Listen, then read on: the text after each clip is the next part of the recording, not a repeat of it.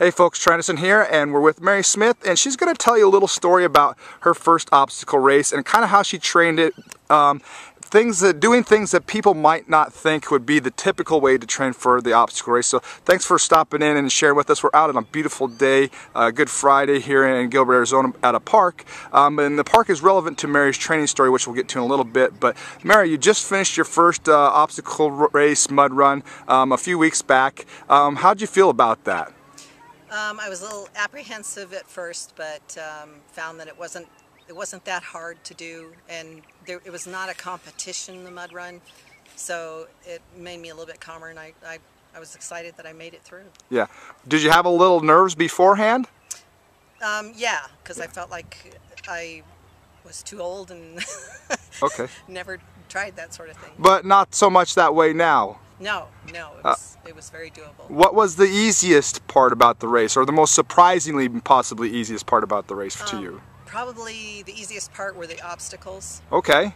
And um, and it proved well the running was not so bad either because you you at each obstacle you got to take kind of a break. Was there maybe a little initial apprehension about the obstacles maybe being too challenging? Um, yeah, the high ones, yes. Yeah. Because I have trouble with heights. Okay. And what was the most difficult part for you, do you think?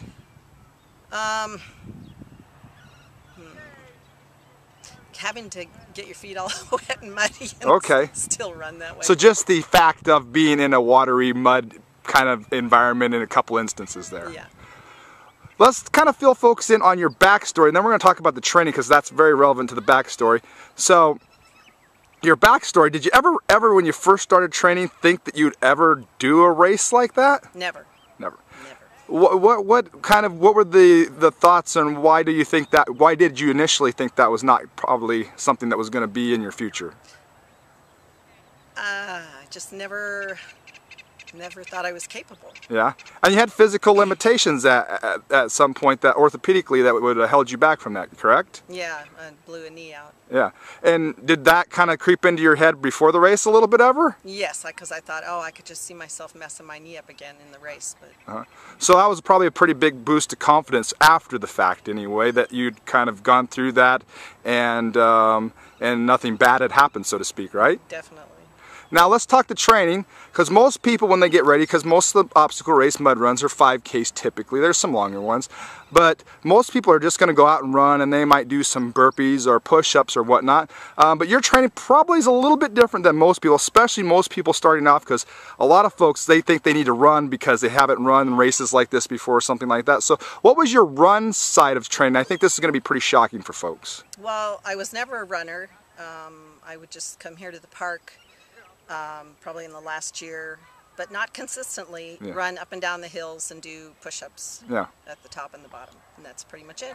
And the hills here, if you can take a look, yeah, it's about, it's a pretty good incline, but maybe 30 to maybe 50 yards top up and down. How many reps were you doing? Because you're not you're not spending hours out here running hills. No, 10 reps usually. 10 reps usually. And then you did some good cross training workouts in conjunction with that to kind of balance out your strength and, and your conditioning levels, correct? Right.